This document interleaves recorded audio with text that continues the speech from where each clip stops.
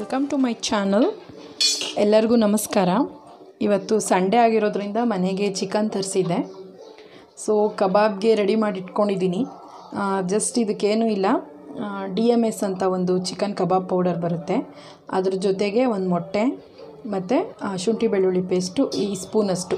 ಇದಿದೆ ಅಲ್ಲ, ಫೋರ್ಕು, ಇದು ಸ್ಪೂನಷ್ಟು. ಹಾಕಿ ಕಲಸಿ ರೆಡಿ ಮಾಡಿಟ್ಟಿದ್ದೀನಿ. ಅದರಲ್ಲಿ ಹೇಳಿರ್ತಾರೆ, ಉಪ್ಪು ಹಾಕಬೇಡಿ, ನೀರು ಹಾಕಬೇಡಿ ಅಂತ. ನೀರು ಹಾಕಕ್ಕೆ ಹೋಗಬೇಡಿ, ಲೈಟಾಗಿ ಉಪ್ಪು ಹಾಕ್ಕೊಳ್ಳಿ ಯಾಕಂದರೆ ಅದು ಪೌಡರಲ್ಲಿರೋ ಉಪ್ಪು ಇದಕ್ಕೆ ಸಾಕಾಗೋದಿಲ್ಲ. ಸೊ ಚಿಕನ್ಗೆಲ್ಲ ಇಟ್ಕೋಬೇಕು ಅಂದರೆ ಒಂದು ಹಾಫ್ ಆನ್ ಅವರ್ ಫ್ರೈ ಮಾಡೋದಕ್ಕೆ ಬಿಫೋರು ಒಂದು ಒಂದು ಚಿಟಿಕೆ ಅಷ್ಟು ಉಪ್ಪು ಹಾಕ್ಬಿಟ್ಟು ಕಲಸಿ ಮುಚ್ಚಿಟ್ಬಿಟ್ರೆ ಕಬಾಬ್ಗೆ ಇದು ರೆಡಿಯಾಗಿರುತ್ತೆ ನೆಕ್ಸ್ಟ್ ಬಂದು ಇಷ್ಟು ಚಿಕನ್ ಎತ್ತಿಟ್ಕೊಂಡಿದ್ದೀನಿ ಸಾರು ಮಾಡೋಣ ಅಂತ. ಸೊ ಒಂದೊಂದೇ ಸ್ಟೆಪ್ ಹೇಳ್ತಾ ಹೋಗ್ತೀನಿ. ನಿಮ್ಗೆ ಇಷ್ಟ ಆಗಿದ್ದರೆ ವಿಡಿಯೋನ ಕಂಟಿನ್ಯೂಸ್ ಆಗಿ ನೋಡಿ. ಓಕೆ ಈಗ ಚಿಕನ್ ಸಾರು ಮಾಡ್ಕೊಳ್ಳೋದಕ್ಕೆ ಮಸಾಲೆ ರೆಡಿ ಮಾಡ್ಕೊಳ್ಳೋಣ. ಎರಡು ಚಕ್ಕೆ ಹಾಕ್ಕೊಂಡಿದ್ದೀನಿ, ಎರಡು ಲವಂಗ ಹಾಕ್ಕೊಂಡಿದ್ದೀನಿ. ಚಕ್ಕೆ ಸ್ವಲ್ಪ. ಮತ್ತು ಶುಂಠಿ ಬೆಳ್ಳುಳ್ಳಿ, ಈರುಳ್ಳಿ, ಒಂದು ಟೊಮ್ಯಾಟೊ, ಕರ್ಬೇವಿನ ಸೊಪ್ಪು, ಕೊಬ್ಬರಿ, ಪುದೀನ ಫ್ರೆಶ್ದು ಪುದೀನ ಮತ್ತು ಕೊತ್ತಂಬರಿ ಸೊಪ್ಪು ಇವೆಲ್ಲ ಹಾಕಿ ಗ್ರೈಂಡ್ ಮಾಡ್ಕೊ, ನೀಟಾಗಿ ಹುರ್ಕೋಬೇಕು.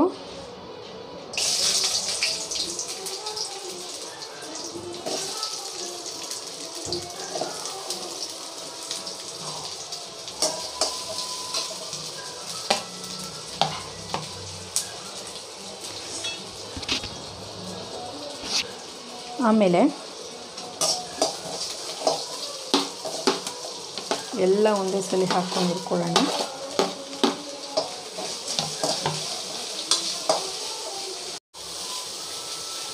ಈಗ ಇದು ಚೆನ್ನಾಗಿ ಅದು ಹಸೆ ವಾಸನೆ ಹೋಗೋವರೆಗೂ ಹುರ್ಕೊಂಡಿದ್ದೀನಿ. ಸೊ ಇದನ್ನು ಮೀಡಿಯಮ್ ಫ್ಲೇಮ್ ಇಟ್ಟು ಇನ್ನೊಂದೇ ಒಂದು ನಿಮಿಷ ಈ ರೀತಿ ಮಾಡ್ಕೊಂಬಿಟ್ಟು ತಟ್ಟೆಗೆ ಆರಕ್ಕೆ ಹಾಕ್ಕೊಳ್ತೀನಿ.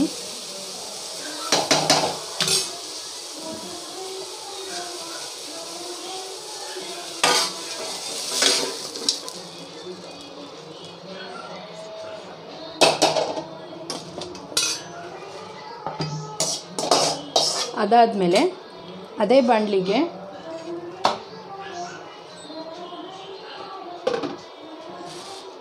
ಇನ್ನೊಂದು ಸ್ಪೂನಷ್ಟು ಎಣ್ಣೆ ಹಾಕ್ಕೊಂಡು ಅದಕ್ಕೆ ಹಚ್ಚಿಟ್ಕೊಂಡಿರೋಂಥ ಈರುಳ್ಳಿ, ಸ್ವಲ್ಪ ಕೊತ್ತಂಬರಿ ಸೊಪ್ಪು, ಸ್ವಲ್ಪ ಕರಿಬೇವು ಹಾಕ್ಬಿಟ್ಟು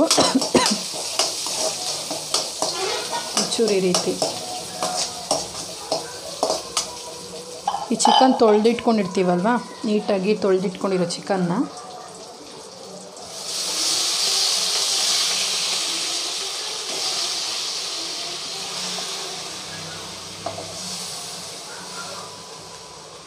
ಹಾಕ್ಬಿಟ್ಟು ನೀಟಾಗಿ ಒಂದ್ಸಲಿ ಸಲ ಒಂದು ಮಿಕ್ಸ್ ಕೊಟ್ಬಿಟ್ಟು ಬೇಯಕ್ಕೆ ಬಿಟ್ಬಿಡಬೇಕು.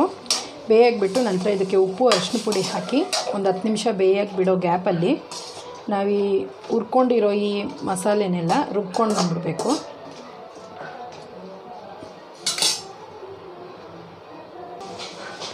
ಒಂದು ಸ್ವಲ್ಪ ಉಪ್ಪು.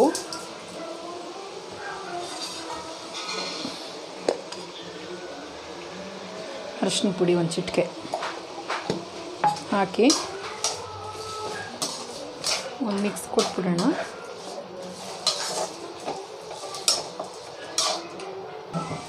ಇದು ಮಿಕ್ಸಿ ಜಾರ್ ಬಂದು ಶುಂಠಿ ಬೆಳ್ಳುಳ್ಳಿ ಪೇಸ್ಟ್ ಆಗಲೇ ಗ್ರೈಂಡ್ ಮಾಡ್ಕೊಂಡಿದ್ದೆ ಕಬಾಬ್ಗೆ ಅಂತ. ಸೊ, ಅದೇ ಇದಕ್ಕೆ. ಇದು ಸ್ವಲ್ಪ ಮೆಣಸು ಏನಕ್ಕೆ ಹಾಕಬೇಕು ಅಂದರೆ, ಈ ನಾಟಿ ಕೋಳಿಗಾದರೆ ಟೇಸ್ಟು ಮಾಮೂಲಿ ಇದೇ ಇಂಗ್ರೀಡಿಯೆಂಟ್ಸ್ ಹಾಕಿ ಮಾಡೋದ್ರಿಂದ ಸರೋಗುತ್ತೆ. ಬಟ್ ಈ ಫಾರಮ್ ಕೋಳಿ ತಂದಾಗ ಮೆಣಸು ಹಾಕೋದ್ರಿಂದ ಸ್ವಲ್ಪ ಟೇಸ್ಟ್ ಎಕ್ಸ್ಟ್ರಾ ಇರುತ್ತೆ. ಈಗ ಈ ಥರ ಮಾಡ್ಕೊಂಡಿರೋ ಎಲ್ಲ ಮಸಾಲೆನೂ ರುಬ್ಬಕ್ಕೆ ಹಾಕ್ಕೊಳ್ಳೋಣ ಈಗ ಈ ಮಸಾಲೆಗೆ ಒಂದು ಎರಡು ಸ್ಪೂನ್ ಧನಿಯಾ ಪುಡಿ ಹಾಕ್ಕೊಂಡು ಫುಲ್ ಗ್ರೈಂಡ್ ಪೇಸ್ಟ್ ಮಾಡಿಕೊಂಡು ಈ ಬೇಯ್ತಾ ಇರೋ ಚಿಕನ್ಗೆ ಹಾಕಿಬಿಟ್ಟು ಉಪ್ಪು ಖಾರ ನೋಡಿಕೊಂಡು ಬೇಯಿಸ್ಕೊಂಡ್ರೆ ಚಿಕನ್ ಸಾರು ಮುಗಿಯುತ್ತೆ. ರುಬ್ಕೊಂಡಿದ್ದಾಯಿತು, ಈಗ ಇದನ್ನು ಇಲ್ಲಿಗೆ ಶಿಫ್ಟ್ ಮಾಡಿಬಿಡೋಣ.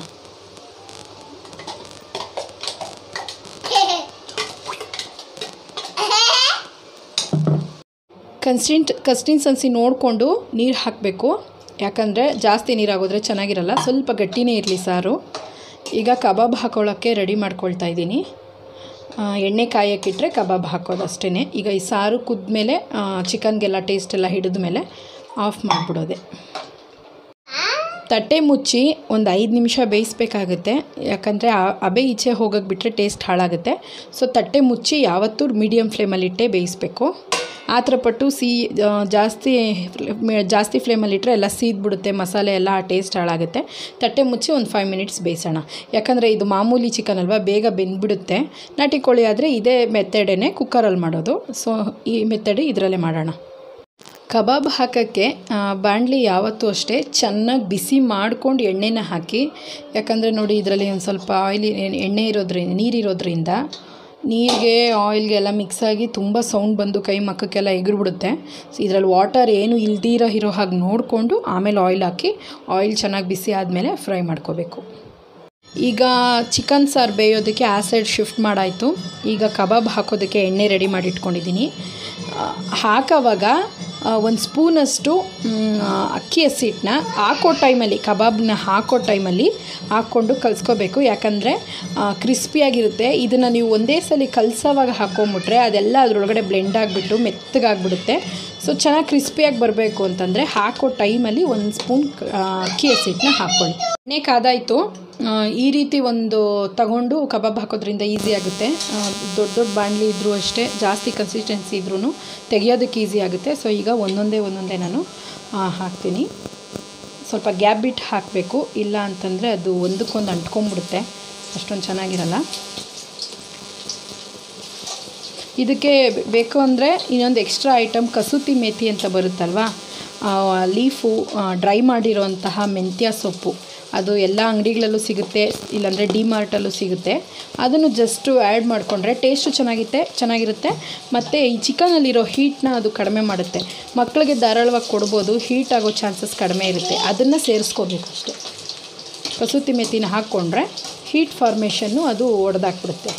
ಈಗ ನಾವು ಸಾರಿಗೆ ಧನಿಯಾ ಪುಡಿಗೆ ಯಾವ ರೀತಿ ಮೆಂತ್ಯನ ಆ್ಯಡ್ ಮಾಡ್ಕೊಳ್ತೀವೋ ಅದೇ ರೀತಿ ಈ ರೀತಿ ಕಬಾಬ್ ಮಾಡ್ಕೊಳ್ಳೋವಾಗ ಮೆಂತ್ಯ ಸೊಪ್ಪನ್ನ ಆ್ಯಡ್ ಮಾಡ್ಕೋಬೋದು. ನಾನಿಲ್ಲಿ ಹಾಕಿಲ್ಲ.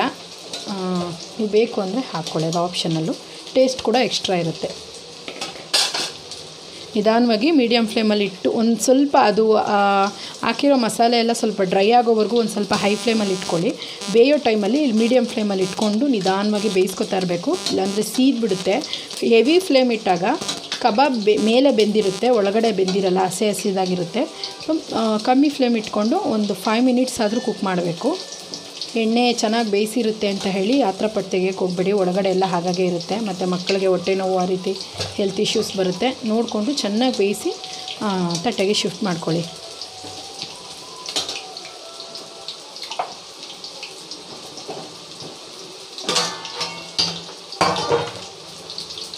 ಅಲ್ಲಿ ನಾನು ಚಿಕನ್ ಸಾರು ಬೇಕಿಟ್ಟಿದ್ದೆ ಅಲ್ವಾ?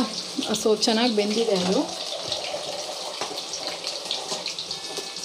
ಎಣ್ಣೆ ಮೇಲೆ ಬರಬೇಕು. ಅದು ಎಣ್ಣೆ ಮೇಲೆ ಉಕ್ಕಿ ಬಂದು, ಸ್ವಲ್ಪ ಸ್ವಲ್ಪ ಸೈಡಿಗೆ ಬಂದಿದೆ ಅಂದರೆ ಮುಕ್ಕಾಲು ಭಾಗ ಬೆಂದಿದೆ ಅಂತ. ಇನ್ನು ಸ್ವಲ್ಪ ತಟ್ಟೆ ಮುಚ್ಚಿ ಬೇಯಿಸೋಣ.